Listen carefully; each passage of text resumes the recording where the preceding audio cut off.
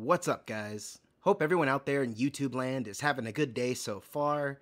I just wrapped up my editing for tonight, and I wanted to go ahead and make a little update video while I got a minute. First of all, I was a bit radio silent for about a month or so there, and I started some new part-time work that might turn into something fruitful if I keep working at it, so it's been pretty busy on the homestead. Aside from that, I've been watching a lot of other creators, and I honestly got a bit low there for a while. I was curious on different directions that I may have wanted to take the channel, and after seeing so much negativity and just the all-around bad vibes and some of that stuff, I decided to avoid making those videos and do what I always have be true to myself, and make the content that I really want to make. That's easier said than done, and it's definitely a more difficult road than some of the stuff I was looking at previously. But if I really buckle down, I'm pretty sure I can produce some pretty awesome stuff.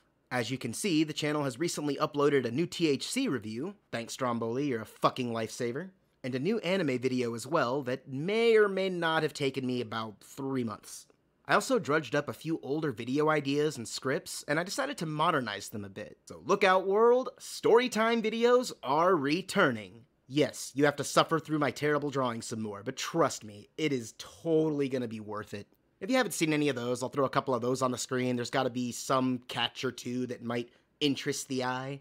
But yeah, storytime videos are back. Get ready for it. While I intend to cover some comedic and downright awesome stories from my past, I'm also going to start telling some of the more difficult and slightly negative stories, but with a positive outlook to them. I am really excited for the next few uploads, but you're just going to have to wait and see what I've got cooking up. I've also been watching much more anime as well as writing some awesome jokes to fit in with some of them. And if you know what that means, Crack Compilation 5 is coming.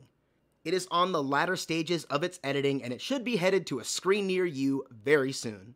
Lastly, I want to thank those that stick around. I really wouldn't be doing this if I didn't feel that I wasn't at least making some kind of impact, and to do that, I really am going to try a lot harder. I read every comment, both positive and negative, just because I like to get that kind of feedback, so feel free to leave a comment below or on any of my other videos that you might have seen.